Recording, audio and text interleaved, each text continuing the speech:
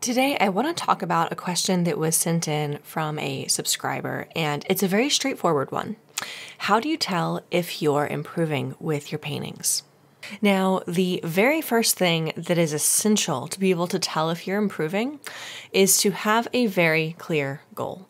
Like, you should know exactly what your ideal painting looks like and what are the qualities of that painting. And by qualities, I am talking specifics. So, what subject do you paint? What is the composition or arrangement of that subject on the canvas? What is the value structure if you were to put this into two values? What is the dominant color harmony? What is the lighting of this piece like? What kind of brushwork are you employing? I think if you are in a really advanced painting program, you have a mentor, and you're in some kind of like atelier or school environment, you might wind up improving toward a goal without actually having that goal.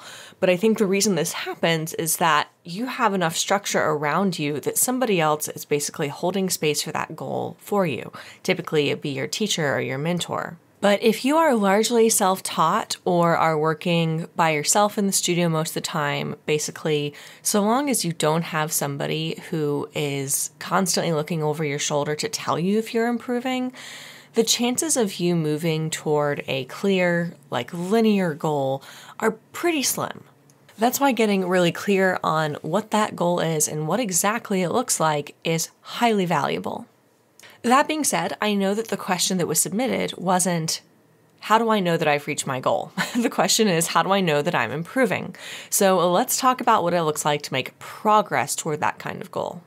Now, this is something I cover in depth in a free hour long masterclass that I have linked down in the description.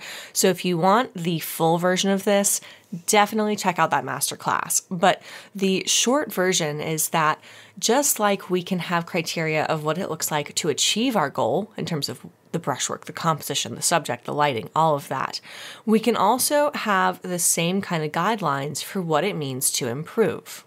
And I like to break down areas improvement into drawing value, color, edges, and then composition. This encompasses basically everything that I could possibly put into a painting. I can distill it down into these concrete buckets. So things like expressive, loose brushwork go into edges. Capturing the likeness on a portrait goes into drawing.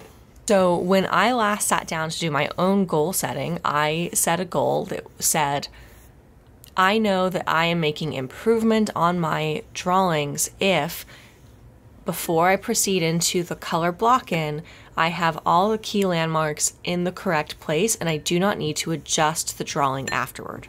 Or I know I'm making progress toward looser and looser brushwork when I find more and more brushstrokes that I put down once and then do not touch after. And when I'm painting, I really actively look out for these things. I monitor how I'm doing with my drawing or how I'm doing with laying down brushwork that I don't disturb later. And the result is that I come away from painting sessions like this one feeling proud because I observed myself doing better than I had the painting before. And that's how I know that I'm improving and I can really enjoy and embrace this process. I hope this was helpful for helping you to do the exact same thing. All right, until next time, check out that link in the masterclass if you haven't already, and happy painting.